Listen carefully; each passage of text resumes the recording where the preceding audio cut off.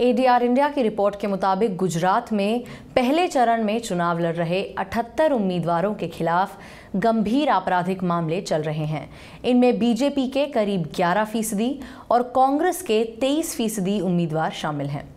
गुजरात में पहले चरण का चुनाव लड़ रहे 923 में से एक सौ सैंतीस उम्मीदवारों के खिलाफ आपराधिक मामले चल रहे हैं। इनमें से 78 के खिलाफ गंभीर आपराधिक मामले, जिसमें हत्या हत्या की कोशिश, अपहरण और महिलाओं के खिलाफ अपराध मौजूद हैं। इनमें से एक के खिलाफ हत्या से जुड़ा मामला और आठ उम्मीदवारों के खिलाफ हत्या की कोशिश का मामला चल रहा है। ये जानकारी एडीआर इंडिया की रिपोर्ट में सामने आई है। अगर पार्टी के हिसाब से देखा जाए तो बीजेपी के नवासी उम्मीदवारों में से 10 के खिलाफ गंभीर आपराधिक मामले चल रहे हैं, जबकि कांग्रेस के छियासी में से 20 उम्मीदवारों बीएसपी के 60 में 8 उम्मीदवारों एनसीपी के 8 में से तीन, आम आदमी पार्टी के 19 में से एक उम्मीदवार और 416 निर्दलीय उम्मीदवारों में से 15 के खिलाफ गंभीर आपराधिक मामले चल रहे हैं।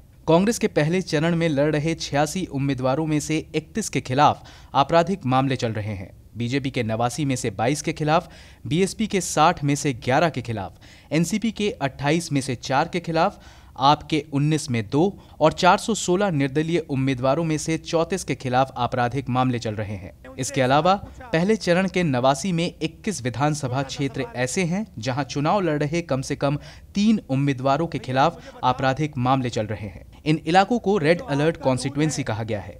एडीआर इंडिया ने गुजरात में पहले चरण का चुनाव लड़ रहे 977 उम्मीदवारों में से 923 उम्मीदवारों के एफिडेविट की जाँच की है। Bureau report, go news.